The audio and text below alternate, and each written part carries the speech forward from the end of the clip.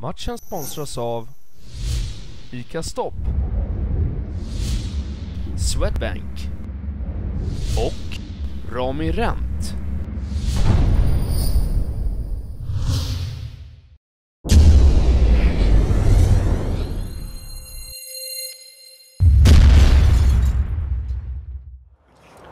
Välkommen till Hägernäs IP där det blev dags för match mellan Viggan och Fardhem IF.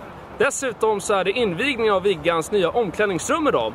Och dessutom så är det Viggan Video special, det vill säga en skylift är på plats. Men nu till eh, allvaret. Göran Dahlberg. Tre poäng är ett måste idag. Ja, det känns ju verkligen som det på, med tanke på hur tabellen ser ut. Tre poäng och ligger i tredje sista eller någonting sånt där. Och det är dags att kliva upp lite i serien. Slippa ligga där nere i träsket och pressa på sig. Det skulle inte vara det roligaste. Ja, om man ser det positivt så klev du av i den första matchen mot Ängby, så du har inte varit med på de tre förlustmatcherna och gör comeback idag. Och vad har Christer sagt eh, om hur du och laget ska spela idag? Nej, men det är, det är just som planen ser ut nu så är den ganska ojämn och ja, gräset är ganska högt. Så det, det känns som att vi kliver ner på ett lite lättare spel, spelar mycket rakare, får ner bollen på djupet lite mer än vad vi har försökt tidigare. Idag har vi försökt spela genom alla lagdelar. Nu ska vi försöka med ett lite rakare spel och lite mer i djupet om man säger. Och eh, hur kommer du vara involverad i det spelet? Eh, Jag har gjort på en vänsterytterplats. Eh, Det är väl lite ovant, brukar alltid ligga på högerkanten men ja, det är bara att köra på den. Får vi se hur det funkar. Ja, Göran, lycka till nu. Tack så mycket!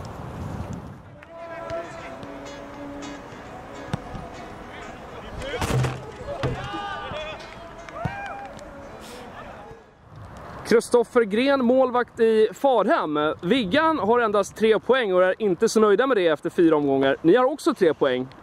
Vad anser du om det? Eh, Det är väl en dålig utdelning faktiskt.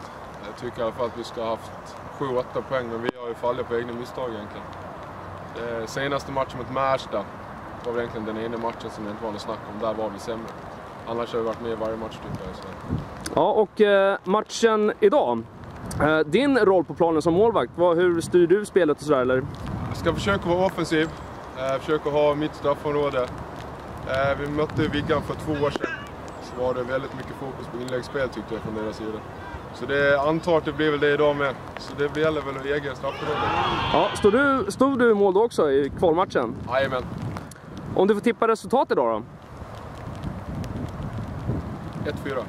1-4, okej. Eh, lycka till! Tack!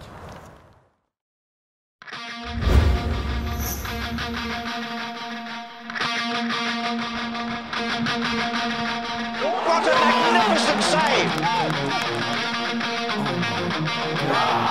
And it's 1 1.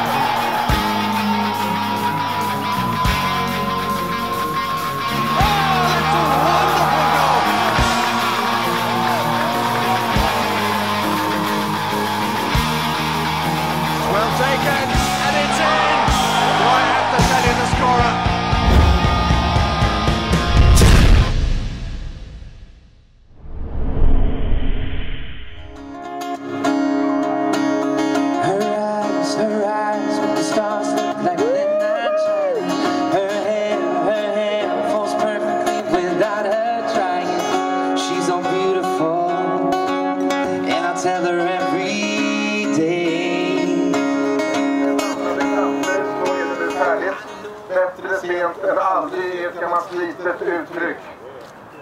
Tack ska du ha och lycka till. Kan någon ta mikrofonen så ska jag greppa saxen.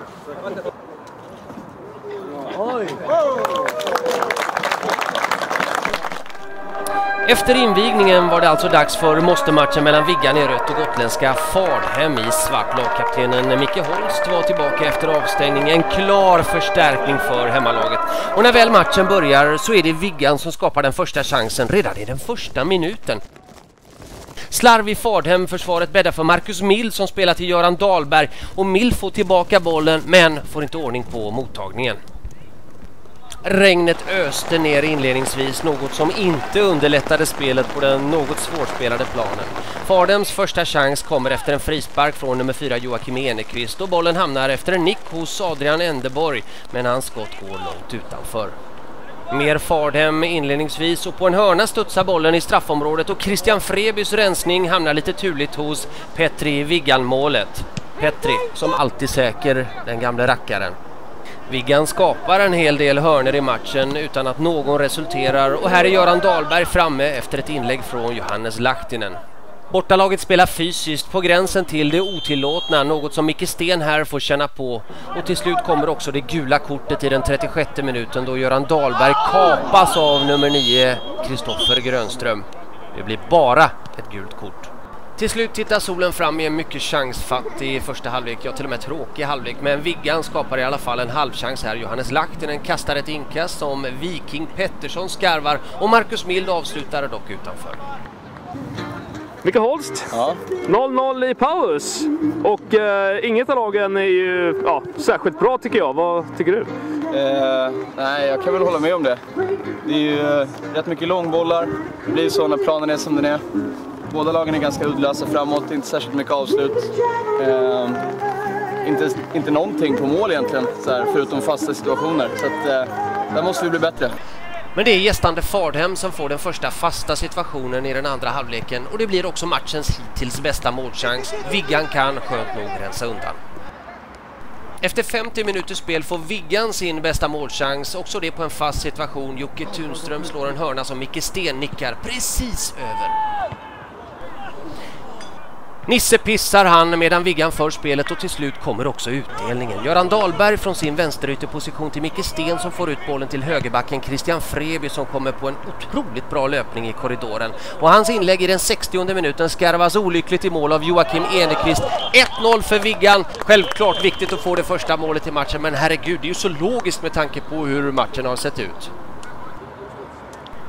så många bra spelare jag vet i Viggan men knappast någon i hemmalaget som hade gjort det där avslutet bättre. Hörna för Fardhem som slutar med att Tom Gyldorf rensar upp till Marcus Mild och han får tips från Viggan Video som befinner sig vid sidan om och skriker och ropar. Hör här. Peta, peta. Marcus släpper ut Johannes Lahtinen men han kommer ur skottvinkeln och skottet blir därefter.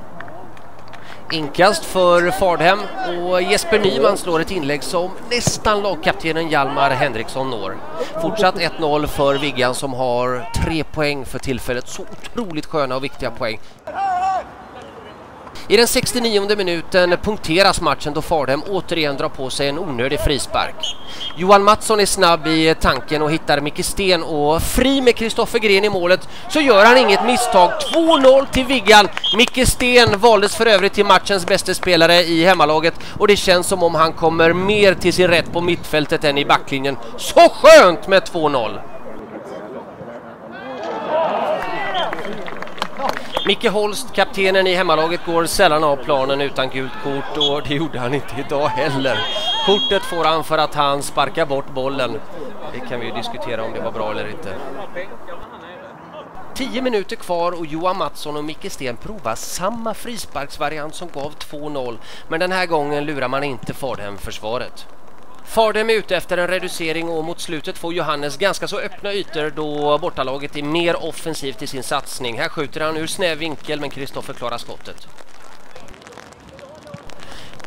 Kristoffer gör en liknande räddning i slutminuterna då Johannes försöker skottpassa till inhoppande Nisse Pasti. Kristoffer Gren, han är följsam. Efter 90 minuters spel så blåser domaren av matchen och Viggan vinner välförtjänt mot Fardhem. Viggan har nu 6 poäng och har börjat sin marsch mot toppen. No way. Wait of the day.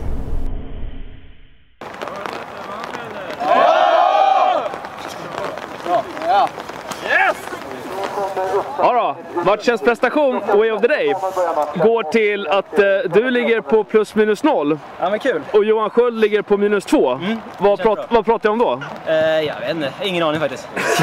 Nej, ditt mål, eh, berätta om det. Som... Ja, jag får en fin crossboll över, springer ner, slår in den eh, och sen är det lite turligt att den studsar på deras back in. Ja, och sen gör vi 2-0 också. Och eh, vad säger du om matchen eh, sett till 90 minuter? Ja, jag tycker vi har ganska mycket boll. Eh, tycker nästan vi äger stor, större delen av matchen faktiskt, tycker jag. Eh, sen slår vi bort lite mycket bollar och sånt där, men det är underlaget som sagt. Ja, men äntligen tre poäng. Jajamensan, jätteskönt.